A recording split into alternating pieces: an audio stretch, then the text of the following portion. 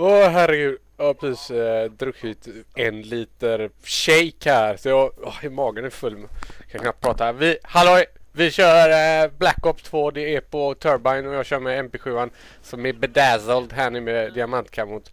Och eh, ja, jag fick det igår. Det var meningen att jag skulle köra en liten live session eh, på vägen till det. Men det som hände var att jag stod och spelade med, med ett party och Eh, det rullade på med levlarna och sen när jag väl hade låst upp Scorpionen så hade jag ett par revenge medals bara och, och sånt kvar. Och efter det så ja, fick jag diamantkammot och bara farten mer eller mindre så eftersom jag redan hade gjort då 150 kills utan attachments och perk med Scorpion. Eh, så eh, jag tänkte snacka om ett par grejer i den här videon. Eh, ett, en sak jag vill att ni ska lägga märke till är Eh, och jag kommer snacka om det när, när det dyker upp på skärmen också. Den här killstyrkan jag kör med, jag kör med Hellfire och, eh, eller Hellstorm, vad fan heter den? Och Lightning Strike i kombination där. De är ju väldigt tätt in på varandra så får man det ena får man ofta den andra. Det är väldigt sällan man bara får en av dem. Ja, man får ju aldrig Lightning Strike om man inte får den andra men du förstår vad jag menar här. Det är väldigt sällan man bara får den, den ena, alltså missilen.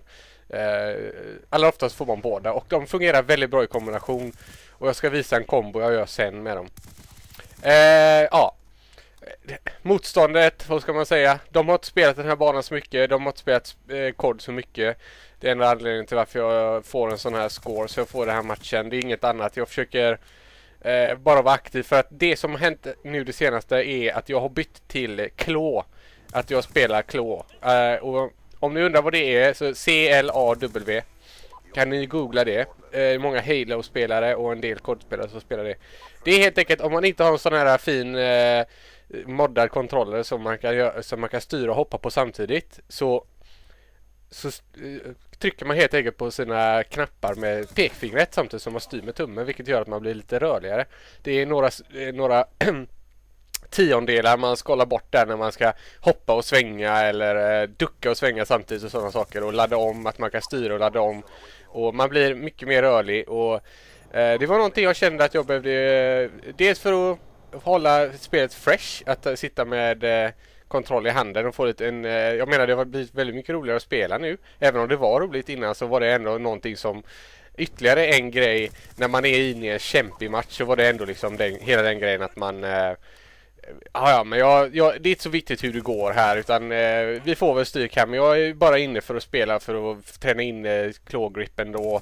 Så att, eh, men så blir det bättre och bättre man vänjer sig. Och jag tänkte snacka lite om den här processen då. Hur det var för mig i alla fall. Och eh, ifall ni känner igen er, om ni har gjort detsamma eller om ni eh, kanske har funderat på att byta själva och sånt. Och, eh, det första jag tänkte säga är att Eh, ja, det känns som man inte har någon kontroll över uh, sin karaktär. Jag fick byta grepp helt, alltså inte bara att jag tryckte på uh, andra, andra knappar med andra fingrar helt plötsligt. Från att gå från att trycka på allting med tummen, inklusive ducka då, eftersom, eller ja, ducka på uh, tactical körde jag med. Men nu kör jag default och duckar med B-knappen med pekfingret istället. Så det var en, och det här drar jag en lightning strike utanför kartan till och med. Men så det var en omställning. Eh, och, det, och jag fick byta eh, liksom vinkel på tummen så helt plötsligt så kunde jag inte sikta likadant och jag hade inte samma grepp. Hade, och när man känner att man inte har grepp eller sikte då faller ju självförtroendet. Då vill man inte spela aggressivt i de situationerna och när man spelar aggressivt av ren, ja, av ren fart, att det bara blir så i matchen, då eh, eh, tappar man kontrollen och så får man lite, inte kramp vill jag säga, men man, det, man känner obehag i, i, handen. Man vill byta tillbaks med en gång.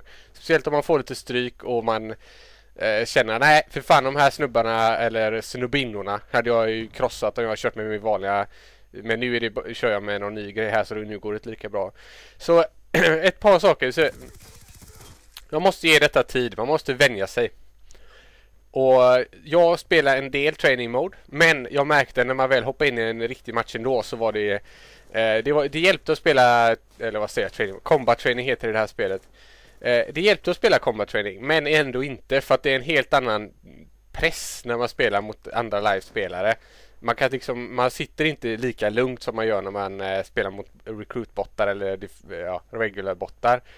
Eh, så det är en helt klart en omställning och då får man helt enkelt tänka på det att resultatet kommer efter man har lärt sig. Håller man på att lära sig så kan man egentligen inte förvänta sig några resultat där.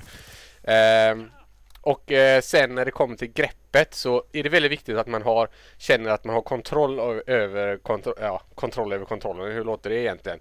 Men att man hittar ett grepp där man inte känner att man tappar sticken. Och eh, ett problem jag fortfarande har är att när jag gör någonting, säg att jag måste ducka och ladda om eller göra någonting konstigt eh, samtidigt som jag inte är van vid att göra. Kan jag tappa mitt grepp liksom. Och då är det svårt att få tillbaka det med en gång. Jag kan inte bara sätta handen på och bara puff och få det med en gång.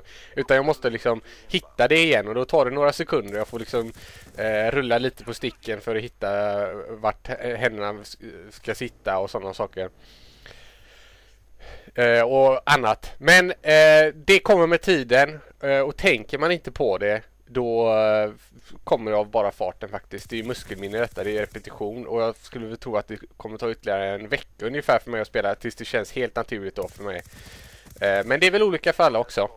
Och här kommer ni få se kombinationen. Så jag drar en eh, lightning strike. Väntar ett tag, väntar se hur den träffar först. Boom! Okej, okay. tre kills. Då vet jag, nu, nu har jag dem i deras spån.